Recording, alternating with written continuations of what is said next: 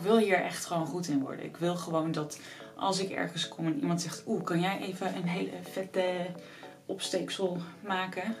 Dat ik dan denk, ja, doen we.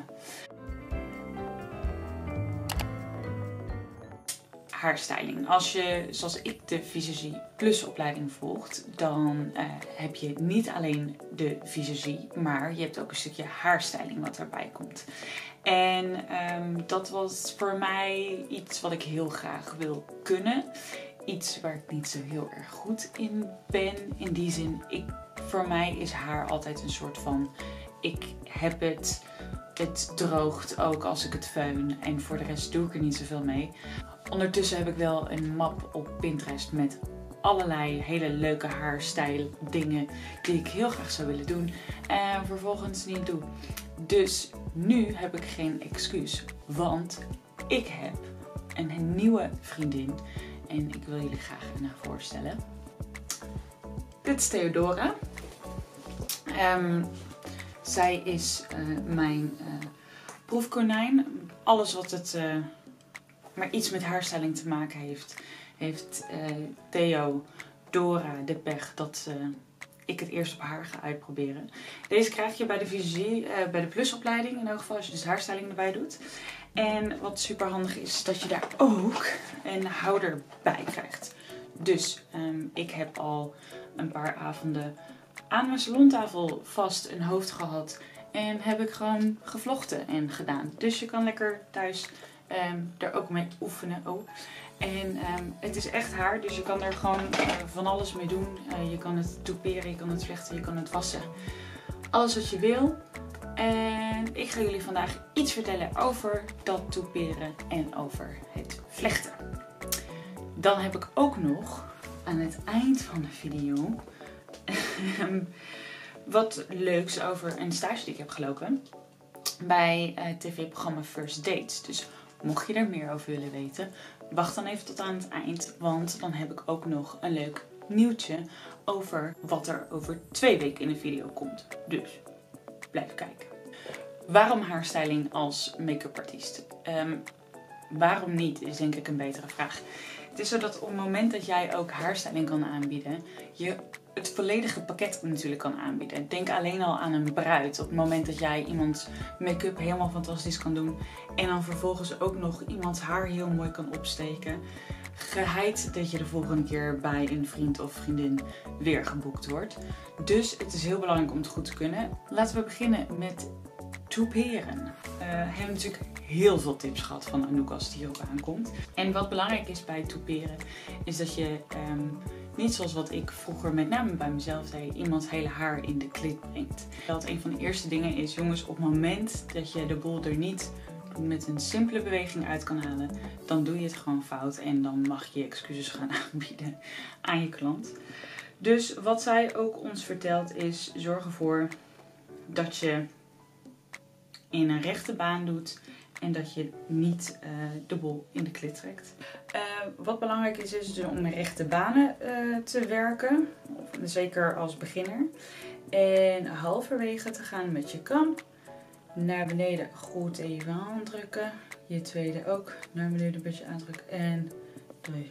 Ja, ja, ja, en dan heb je een mooie omhoogstaand stuk. Nou ja, in elk geval werk ik dan het hele stuk verder af.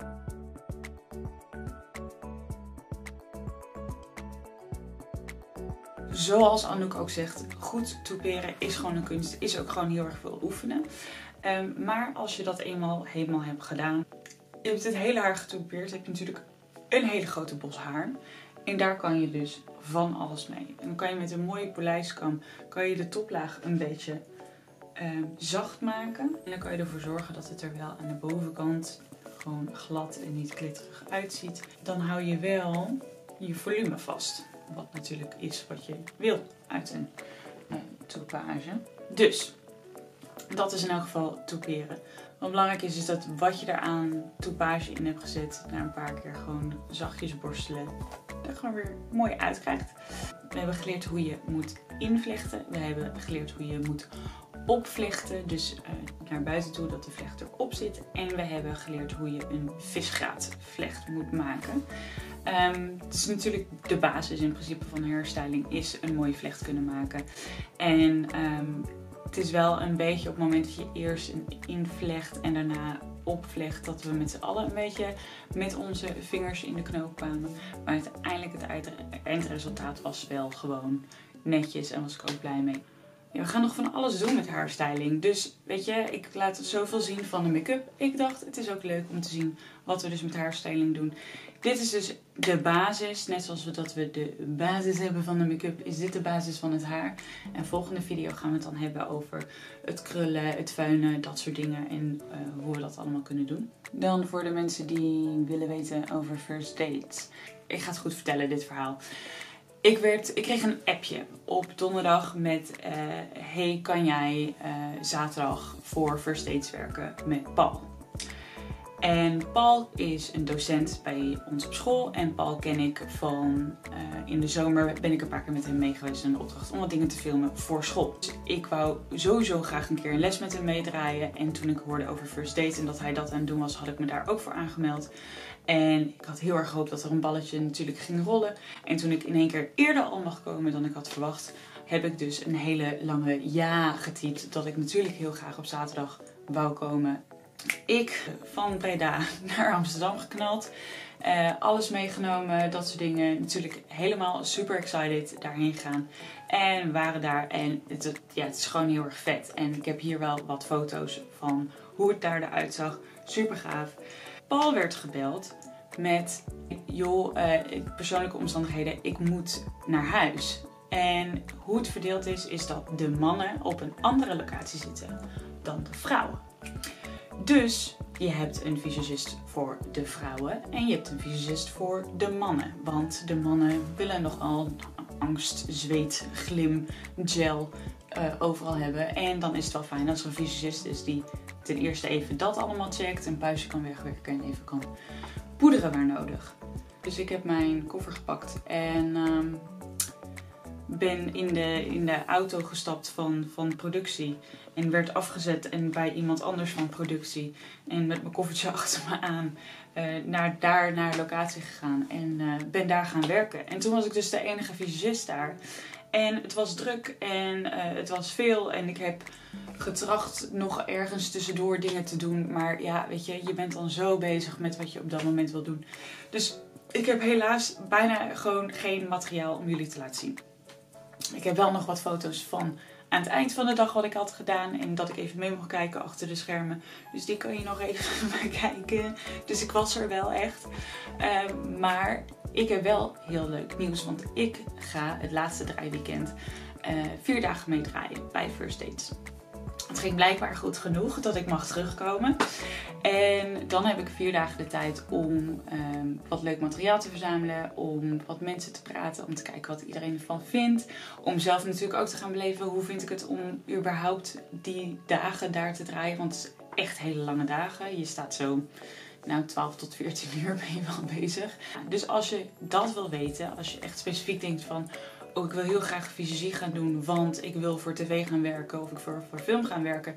Maar hoe gaat dat nou precies? Dan moet je dus even komen uh, kijken bij mij over twee weken als de video klaar is. Wil je meer weten? Kijk even op de website, kijk even op Instagram. Uh, denk je nou van ja, hoe zit dat nou eigenlijk met die, met die opleiding en dat soort dingen. Um, er zijn binnenkort ook nog allerlei uh, meeloopdagen waar je mee kan kijken. Dus ga daar ook even naar kijken. Dat kan je allemaal terugvinden op de website. Uh, je mag mij natuurlijk altijd een berichtje sturen. een aantal hebben dat ook gedaan. Super leuk. Vind ik ook heel erg leuk om te krijgen. Dus doe dat ook vooral. En ja, hopelijk zie ik jullie dan over uh, twee weken. Dus oké. Doei. Het was echt zo super leuk. Het was gewoon werken. Het was natuurlijk met name met de mannen. Iedereen is zo knetternerveus. En iedereen wil alleen maar dat ze de liefde van hun leven gaan ontmoeten. En dus ja, mensen komen gewoon op hun best. En, en zijn in een goed humeur. Want het is leuk. Je gaat wat leuks doen. Dus het is gewoon heel gezellig.